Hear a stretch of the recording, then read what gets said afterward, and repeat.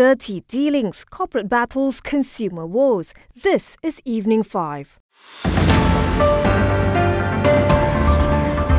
Bursa Malaysia ended the week mixed with buying in selected heavyweights and commodity related stocks amid the negative sentiment in regional markets.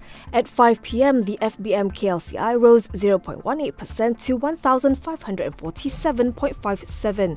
The market breadth was negative, with decliners thumping gainers 918 to 289, while 416 counters were unchanged, 753 untraded, and 23 others suspended.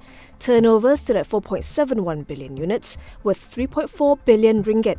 Rakuten Trade Equity Research Vice President Tong Pak Leng said the key regional indices finished lower following the rise in commodity prices due to concerns over worsening geopolitical conditions in the Middle East. Israel had launched an attack on Iranian soil, Reuters reported, in the latest tit for tat exchange between the two arch foes. Additionally, hawkish statements from US Federal Reserve officials added pressure to risk appetite. Tong said on the domestic front, Rakuten Trade strongly advises investors to exercise caution in light of increasing market risks, elevated volatility in global markets, and escalating geopolitical tensions. The research house anticipates the benchmark index to further consolidate until new catalysts emerge. Regionally, Japan's Nikkei 225 sank 2.66% to 37,068.35. Hong Kong's Hang Seng Index slipped 0.99% to 16,224.14. South Korea's Kospi shed 1.63% to 2,591.86. Singapore's Straits Times Index eased 0.35% to 3,176.51. And China's SSE Composite Index dipped 0.2 2.9% to 3,065.26. Separately, Batik Air will be suspending its operations to Istanbul, Turkey, effective May 1, 2024. The airline's operator Malindo Airways said this is in response to the situation in the Middle East, which has significantly impacted its routes, leading to operational restrictions that make it challenging to continue flights to the region.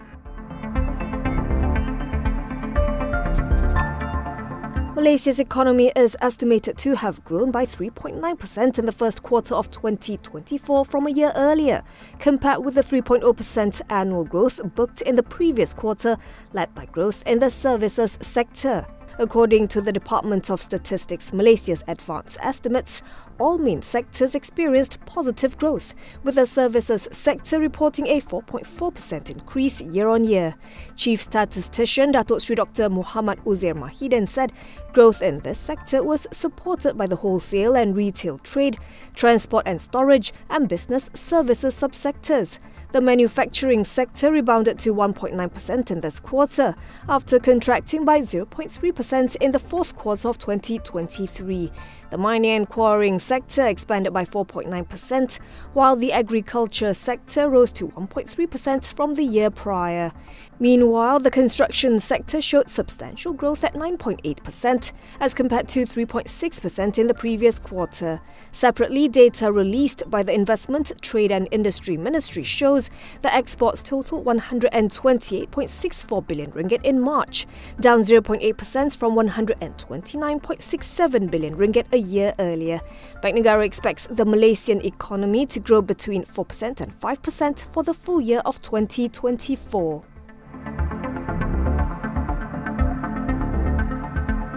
Analysts say the planned merger of Axiata Group with India's Bharti Airtel raises concerns as the latter's subsidiary Airtel Lanka is currently a loss-making company. TA Securities noted that Airtel Lanka recorded a net loss of around 245.4 million ringgit for its financial year 2023. And should its earnings performance fall short of expectations, Dialog would be subject to earnings volatility. Yesterday, Axiata's Sri Lankan subsidiary Dialog entered into a definitive agreement to acquire Airtel Lanka, with a deal to be satisfied via the issuance of 952.7 million or 10.355% of new Dialog shares to Bharti Airtel. Meanwhile, Kenanga Research said upon completion of the merger, Axiata's FY 2024 net debt to EBITDA will increase slightly to 2.36 times from 2.23 times and noted an earnings drag from Airtel Lanka may not persist for long, as Dialog may narrow Airtel Lanka's EBITDA through costs savings from an integrated network, sales and marketing channels, and other administrative expenses. Maybank Investments Bank Research, meanwhile, views the merger as an overall healthy market development while generating longer term synergies. Still, there are integrated costs to be borne, it noted, which could defer Axiata's net profit recovery in the initial years. On the whole, there are 10 buy recommendations, 10 hold ratings, and 5 sell calls on the stock, with an average 12 month target price of 2 ringgit 75 sen. Axiata settled unchanged today at 2 ringgit 55. Shares of Awan Biru Technology or Awantec fell as much as 53% today, prompting Bursa Malaysia to suspend intraday short selling or IDSS activities for the counter. Awantec's share price tumbled to a low of 15 cent during the morning session, its lowest since March 2020. The stock pared losses to close at 22 cent, still down 31.3%. At 22 cent, the software services firm is worth 173.8 million ringgit. Awantec's IDSS will resume on Monday at 8:30 a.m. The sell-off comes after the company announced yesterday that trading in its shares will be suspended from April 26th after it failed to submit its regularization plan on time. Previously known as Presta Riang, Awantec was classified as an affected listed issuer in January 2021 due to the termination of its unit Prestariang Systems membership in the Microsoft Partner Network.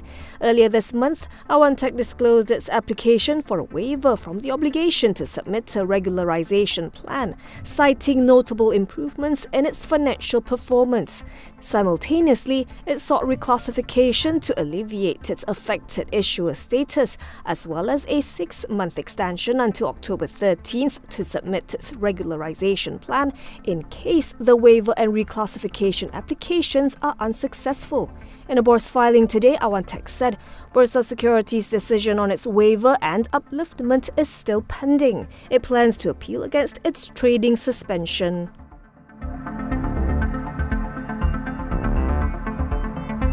MKH Oil Palm East Kalimantan saw its initial public offering oversubscribed by 8.43 times ahead of its listing on the main market of Bursa Malaysia on April 30th.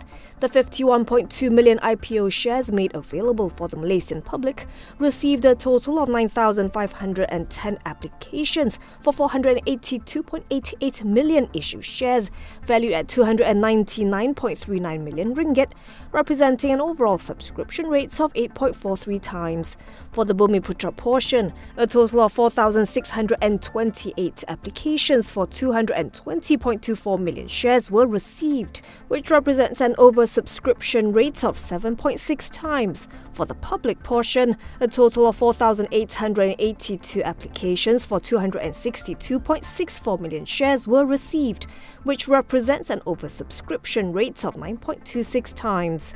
Meanwhile, the joint placement agents have confirmed that the 168.79 million issued shares and 30.7 million offer shares made available by way of private placement to selected investors have been fully placed out. MKH Oil Palm, the plantation arm of property developer MKH, aims to raise up to 155.43 million ringgit from its listing. Based on the IPO price of 62 cent a piece, the group will have a market capitalization of 634.6 million ringgit.